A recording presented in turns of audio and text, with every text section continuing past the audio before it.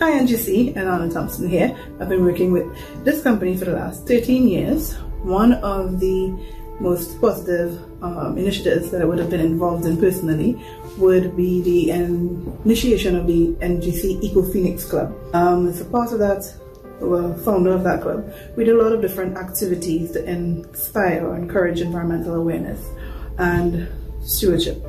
We would have done nature tours. We would have visited the Caroni Swamp as well as um, Down Islands. Hikes, where some of the persons would have been involved in Parada hikes and Rio Seco waterfall hikes.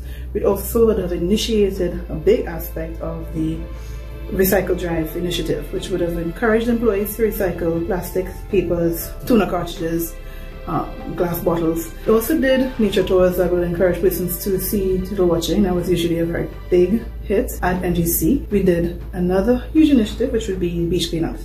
So these are different events that would have been spearheaded by the NGC Eco Phoenix Club that I am proud of. Happy 45th NGC.